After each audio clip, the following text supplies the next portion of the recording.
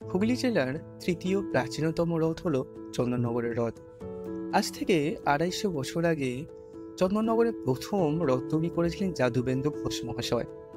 সতেরোশো তেষট্টি সালে জগন্নাথ দেবের স্বপ্নাদেশ পেয়ে যাদুবেন্দ্র ঘোষ মহাশয় লক্ষ্মীগঞ্জ বাজারে জগন্নাথ দেবের মন্দির প্রতিষ্ঠা করেন।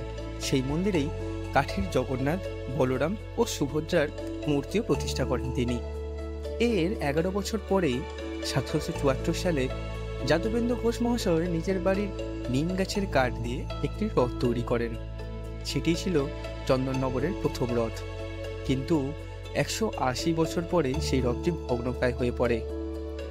তখন চন্দননগর রথ পরিচালনা সমিতি এবং চন্দননগরের জনসাধারণের অনুদানে ব্র্যাথওয়েট কোম্পানি একটি ষাট টন ওজনের লোহার রথ তৈরি করে।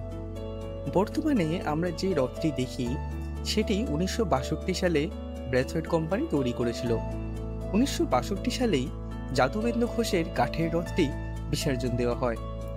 যদিও রথের গায়ে কারুকার্য করা প্যানেলের কিছু অংশ চন্দননগর জাদুঘরে আজও রাখা আছে।